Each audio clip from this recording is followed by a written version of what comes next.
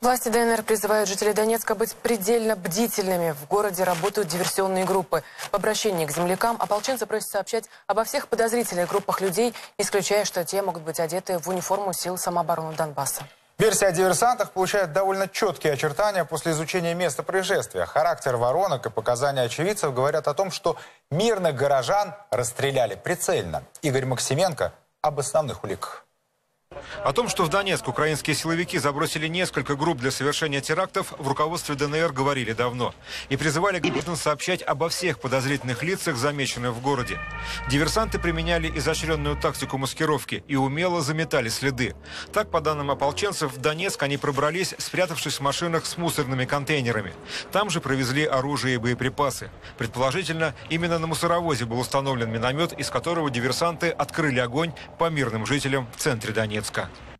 Троллейбус 17 маршрута был обстрелян в тот момент, когда он подъехал к остановке Дон-Гормаш на улице Куприна в Ленинском районе в самом центре Донецка. Этот густонаселенный массив носит название микрорайон Бассе. На всем протяжении улицы Куприна расположены исключительно жилые дома. Чуть левее остановки Дон-Гурмаш, примерно в 100 метрах, находится детский сад номер 254.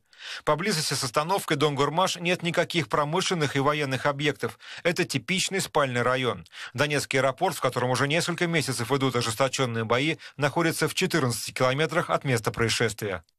По предварительным данным, атака на троллейбус велась из 82 миллиметрового миномета. Устройств такого калибра, которое можно установить в кузове автомашины, немного. Террористы могли стрелять из скоростного миномета 2Б-9 «Василек». Он, кстати, находится на вооружении украинской армии. Это подтверждает перечень вооружений, утвержденный Верховной Радой в 2011 году. Миномет «Василек» снаряжается кассетой, в которой помещается 4 мины и может стрелять очередями, в том числе и с очень близкого расстояния. При разрыве каждая мина дает 500-600 осколков. Это, скорее всего, был миномет. Взрыв минометной мины, он не дает воронки. Э, ну, она совершенно незначительная, там небольшая, 3, 4, 5 сантиметров, не больше. Но зато очень большой э, радиус э, поражающий осколков. Еще одно устройство, которое могло быть применено для обстрела троллейбуса в Донецке – бесшумный переносной миномет 2Б-52 «ГАЛ». Его калибр тоже 82 мм. Устройство весом всего 13 килограммов легко спрятать в рюкзаке или багажнике автомобиля.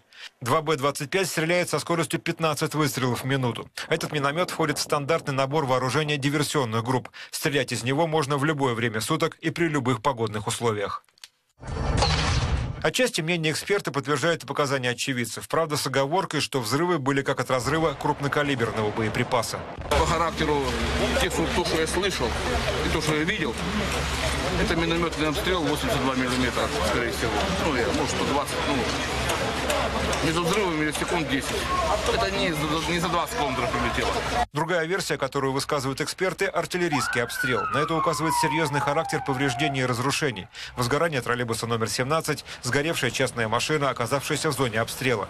Также осколки попали в фасады жилых домов и хозяйственных построек, расположенных далеко от места трагедии. В Киеве на варварскую атаку троллейбуса с мирными жителями отреагировали в привычном стиле. Вместо слов сочувствия пострадавшим и соболезнования родственникам погибших – очередная порция обвинений в адрес ополченцев. Вот официальное заявление Министерства обороны Украины. Обстрелянный троллейбус находился в 15 километрах от места дислокации украинских военных, что исключает их причастность к ужасной атаке. Все факты говорят о том, что террористы обстреляли пассажирский транспорт из жилых массивов, которые контролируются незаконными военными формированиями. Любопытно, что в недавнем случае с расстрелом автобуса под Волновахой киевская верхушка отказалась учитывать тот факт, что трагедия произошла на подконтрольной украинской армии территории.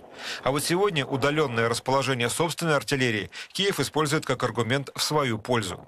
Премьер Яценюк и вовсе не стал разбираться в обстоятельствах и сразу перешел к обвинениям.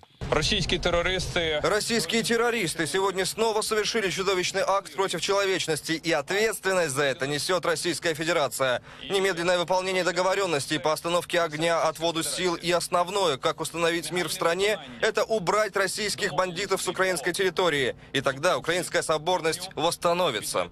Со слов украинской верхушки выходит, что армия ДНР бьет по своим. Видимо, чтобы скомпрометировать таким жестоким и изощренным способом вооруженные силы Украины. Но факты указывают на то, что проводимая Киевом антитеррористическая операция и есть война против собственного народа. Люди, которые бомбят свой собственный народ, свою собственную территорию, изолируют ее, блокируют, отсекают от энергетических потоков, отключая рубильник. Совершенно не интересуются женщины, дети и старики там под огнем в нарушении всех законов ведения войны. И при этом абсолютно уверены, что Европа даже не заметит этого. В Донецке тем временем распространяют специальные обращения к жителям города. В Донецк прорвались диверсионные группы. Всем жителям будьте бдительны. В Донецке армия ДНР не стреляет из минометов. Скорее всего, диверсанты одеты в форму ДНР. Всем, кто увидит или услышит выстрелы, заметит или увидит работающие минометные расчеты на машинах, срочно сообщить по телефонам доверия. Игорь Максименко, Ирина Уймина, Антон Ефремов, Алексей Шанев, Пятый канал.